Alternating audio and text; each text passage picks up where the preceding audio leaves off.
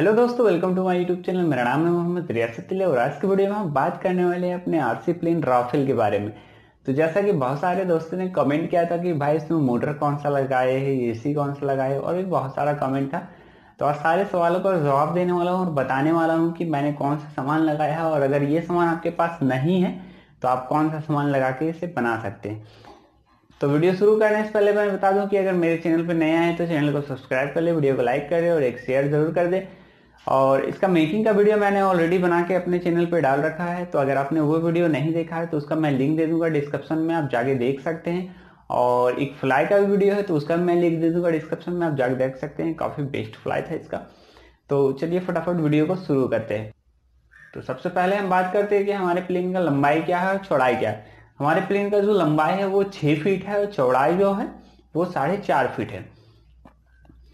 और इसे आप बनाने के लिए कौन सा मोटर इस्तेमाल कर तो जैसा कि हमें इंडियन मार्केट में आसानी से जो मोटर मिल जाता है और अगर आपके पास बजट के हिसाब से भी आप इसमें लगा सकते हैं, जो लगाना है मैं बता दे रहा हूँ। तो जो हमें मिल जाता है आसानी से वो बाईस बारह नौ सौ बीस के बी का बाईस बारह नौ सौ अस्सी के बी का बाईस बारह हज़ार के बी का जिसे गोल्डन मोटर के भी नाम से जानते हैं।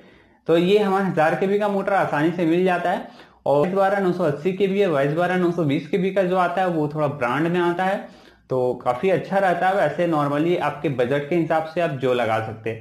बात करता हूँ बाईस बारह हज़ार के बी के बेल डीसी मोटर के बारे में, जो कि काफ़ी अच्छा होता है चीप रेट में काफ़ी बेस्ट होगा और आप उसे इसमें लगा सकते हैं। उसके साथ जो है, अगर आप बाईस बारह नौ सौ बीस के भी, बाईस बारह नौ सौ अस्सी के भी या बाईस बारह हज़ार के भी का बेल डीसी मोटर यूज़ करते हैं तो उसके साथ जो है टेन इंच का प्रोपेलर लगाए जो कि काफ़ी परफेक्ट रहेगा। और एसी की मैं बात कर दूँ तो उसमें थर्टी एम्पर का एसी लगाए, आप अपने बजट के हिसाब से किसी भी ब्रांड का लगा सकते हैं या फिर नॉर्मल जो मार्केट में मिलता है, आप वो भी लगा सकते हैं।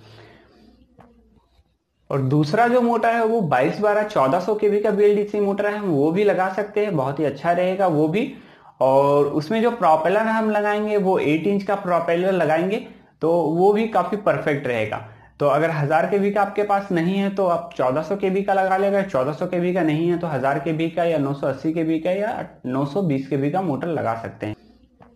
अब मैं इसमें सर्वो की बात करूँ तो इसमें आप 9 ग्राम का जो प्लास्टिक सर्वो नॉर्मली आसानी से मिल जाता है वो लगा सकते हैं। मैं बात करता हूँ कि इसमें मैंने कौन सा मोटर लगाया है, कौन सा सर्वो लगाया है, कौन सा एसी लगाया है, कौन सा प्रोपेलर लगाया है।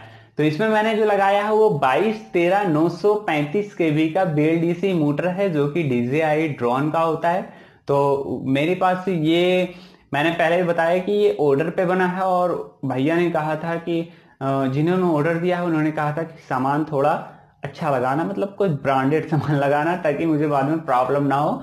और इसमें मैंने तो मैंने इसीलिए इस मोटर को लगाया है। और इसमें मैंने एसी जो लगाया है, वो 40 एम्पेयर का एसी है तो काफ़ी अच्छी क्वालिटी का एसी मैंने लगा अब मैं इसके टेकअप वेट के बारे में बात करता हूँ कि कितना वेट लेके फ्लाई कर सकता है।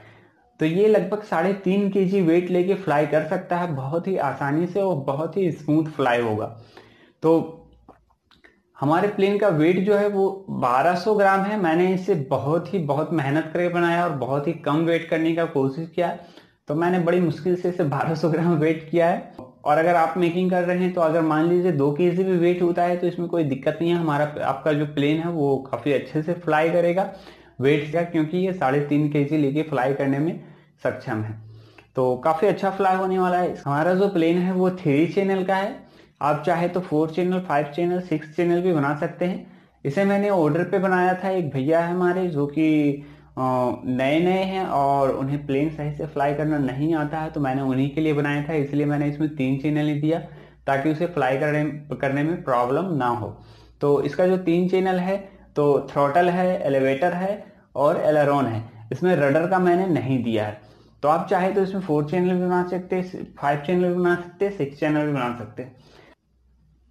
मैंने इसे थर्माकोल से बनाया है। आप अगर चाहे तो थर्माकोल से भी बना सकते हैं, सन पेक से भी बना सकते हैं, सन बोर्ड से भी बना सकते हैं, बालसा वुड से भी बना सकते हैं।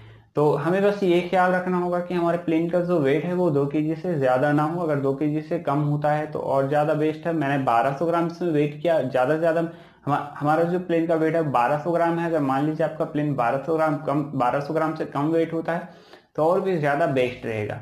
और मैंने इसमें दो मोटर लगाया है। अगर आपको दो मोटर का जो वायरिंग का जो कनेक्शन है, अगर वो जानना है तो उसका मैंने ऑलरेडी वीडियो बना के अपने यूट्यूब चैनल पे रखा है।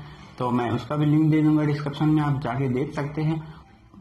और अगर इस प्लेन का आपको पीडीएफ चाहिए तो आप मुझे इंस्टाग्राम पे मैसेज करें मैं आपको पीडीएफ उसमें दे दूँगा। तो चलिए फिर मिलते हैं अगले वीडियो में।